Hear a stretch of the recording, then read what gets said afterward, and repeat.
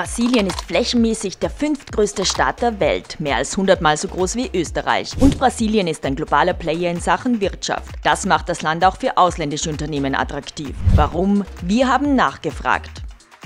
215 Millionen Menschen leben in Brasilien. Wirtschaftlich gesehen folgt jetzt auf eine längere Stagnation im Land die Erholung. Aber wie das? Woran das liegt, da gibt es zwei Gründe. Das eine sind die Agrarpreise, die so stark gestiegen sind. Also die Nachfrage nach Agrarprodukten ist Brasilien sehr stark.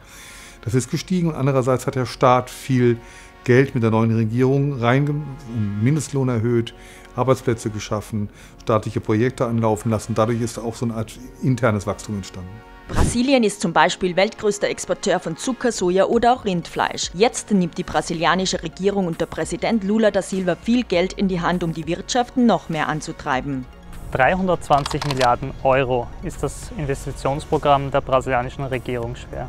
In die Bereiche Infrastruktur, Energie und sozialer Wohnbau soll besonders viel investiert werden. Rund ein Drittel des Gesamtvolumens soll aus dem Privatsektor kommen. Besonders hier gibt es Geschäftschancen für ausländische Unternehmen. Diese will auch Österreich nutzen.